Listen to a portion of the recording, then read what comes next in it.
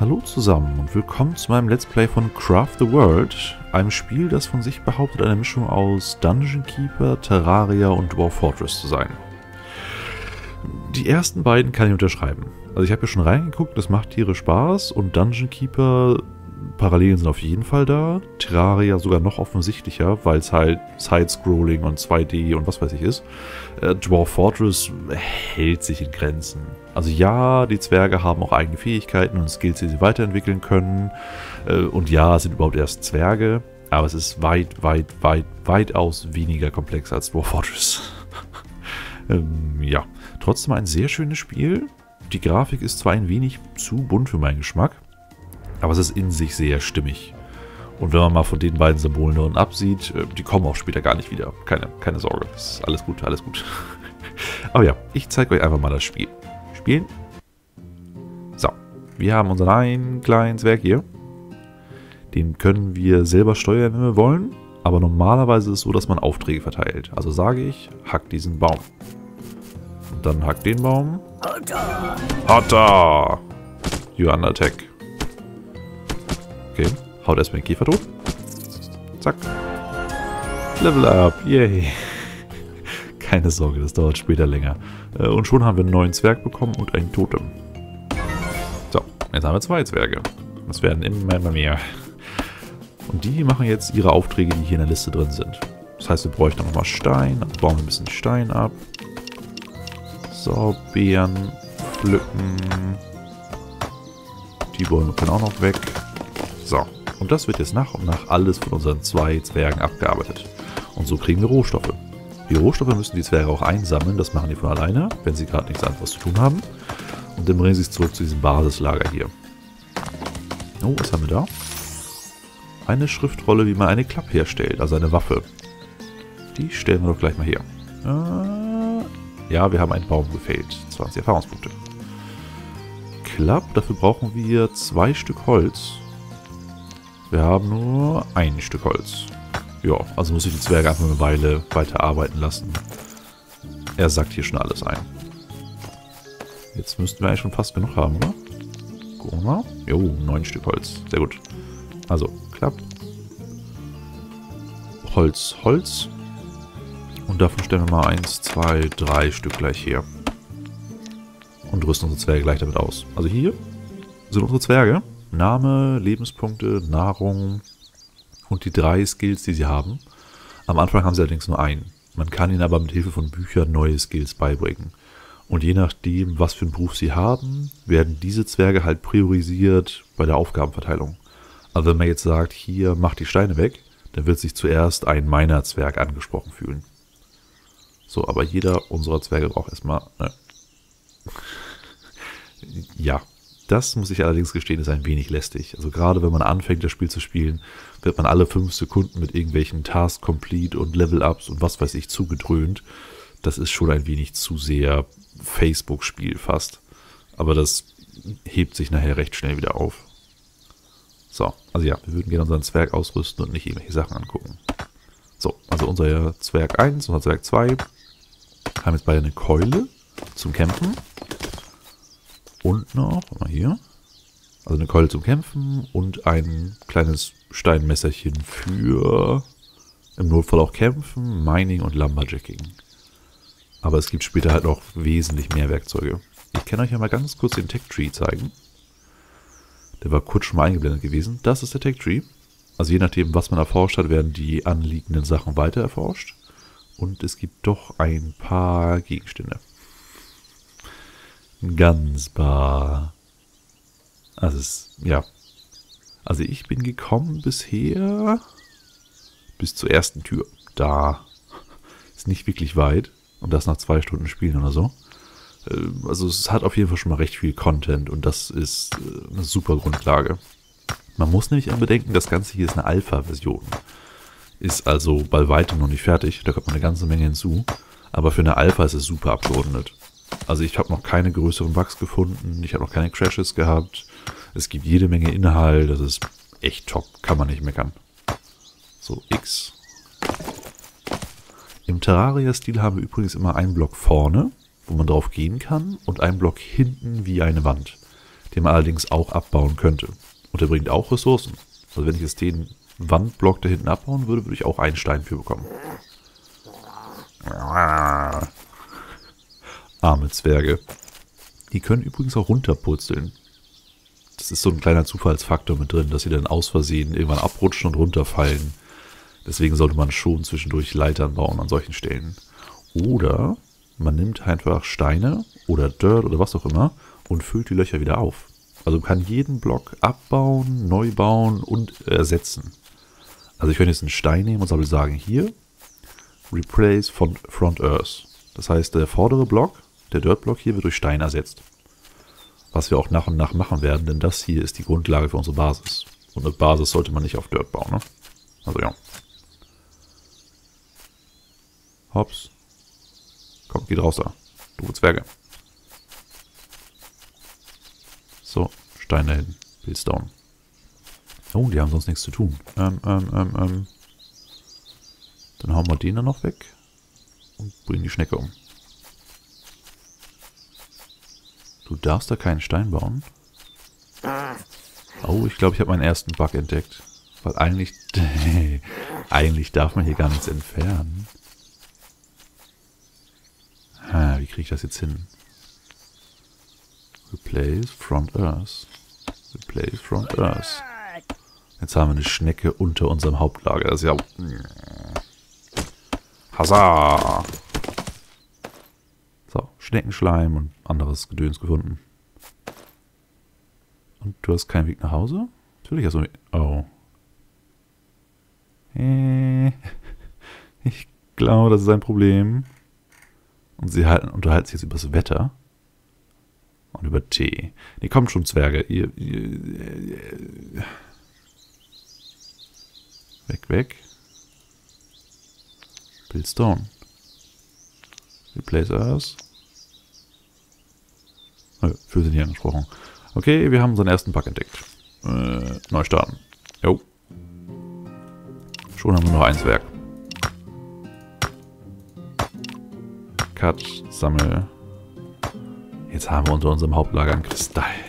Na schön. Kann ich mit leben. Also ich probiere gleich nochmal das dazu ersetzen. Weil ich würde ungern das Lager auf Dreck gebaut haben. Ich glaube, das Problem vorhin war, dass während des Ersetzens von dem Dirtblock zum Steinblock der andere Zwerg hinübergelaufen ist. Also machen wir jetzt gleich... Ja, wir haben Baum gehackt. Nehmen wir jetzt gleich unseren Stein und sagen da Replace Front Earth. Und fassen jetzt nichts mehr an.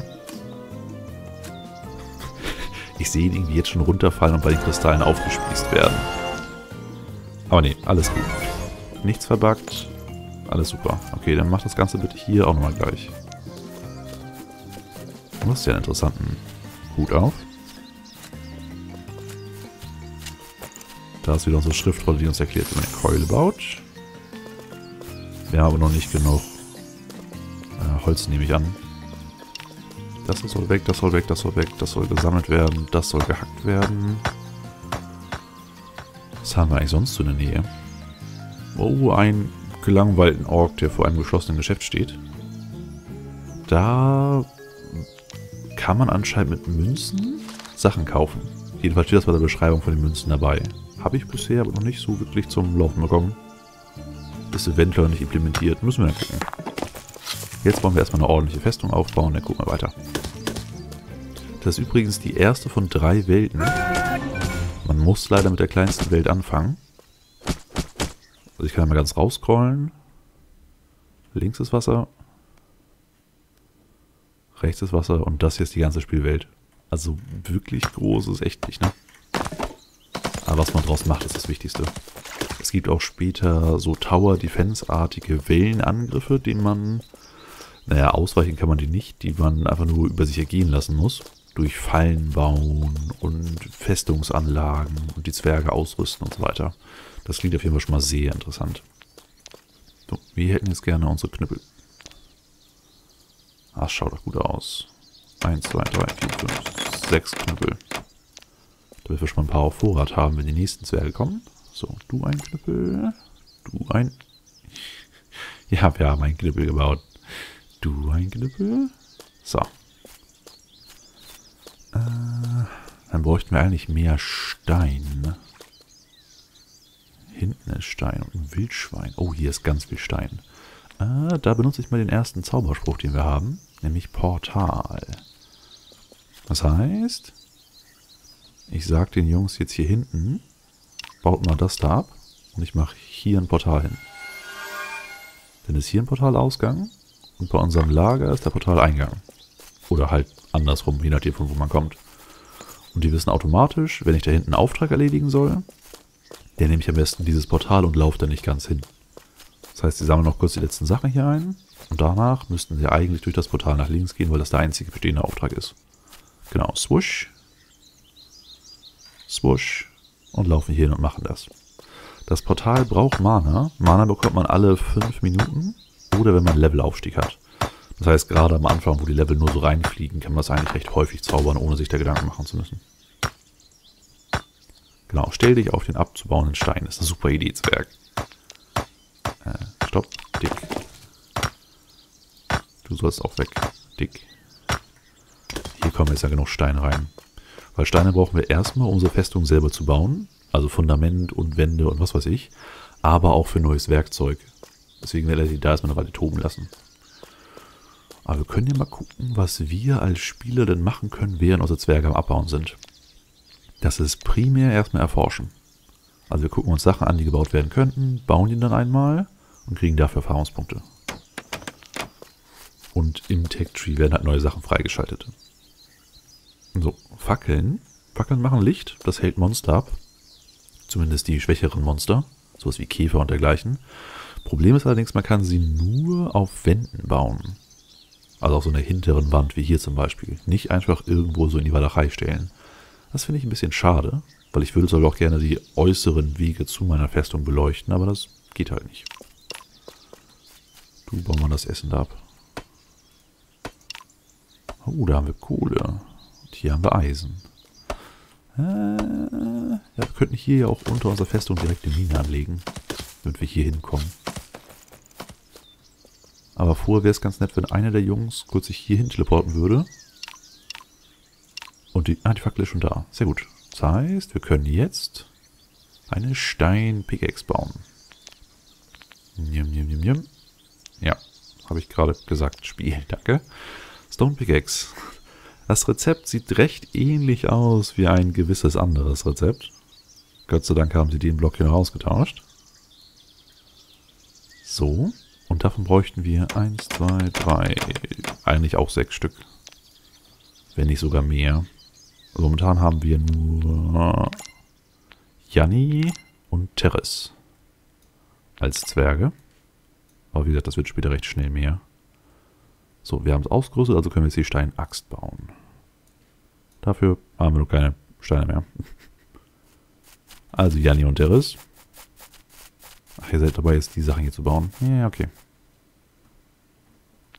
Craft, haben wir noch was Neues? Wir haben eine Schleimfackel. Dafür brauchen wir Schleim und Knochen. Knochen haben wir noch nicht. Ja, und eine Leiter. Leiter ist immer gut. Leiter heißt nämlich, wir können dann Minen bauen.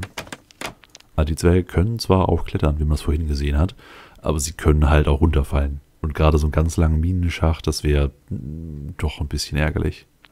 So, Fackel kann weg. Das Stein kann weg. Und den Auftrag nehme ich mal weg, damit sie da nicht extra hinlaufen. So, ich denke mal, das Portal wird nicht mehr allzu lange halten. Ne? Also okay. Oh, genau, das ist weg.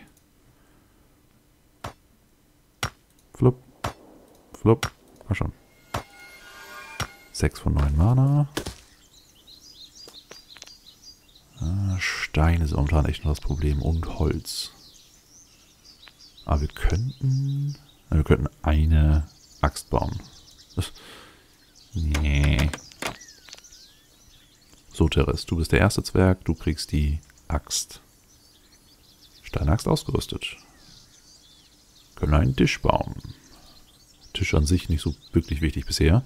Aber danach kommt die Workbench und dann Planken und dann geht's weiter mit den ganzen anderen holzartigen Sachen. Also was wie Türen zum Beispiel und Hatches. Denn man hat erst eine richtige Festung, wenn man einen abgeschlossenen Raum hat oder mehrere miteinander verbundene abgeschlossene Räume, die halt Türen und Hatches haben, damit man nicht einfach so reinlaufen kann mit Zugluft und all sowas. Kennt man ja aus den anderen erwähnten Spielen, also Terraria und Dwarf Fortress. Wobei es mit Dwarf Fortress halt die Zonen gab, das gibt es hier alles gar nicht.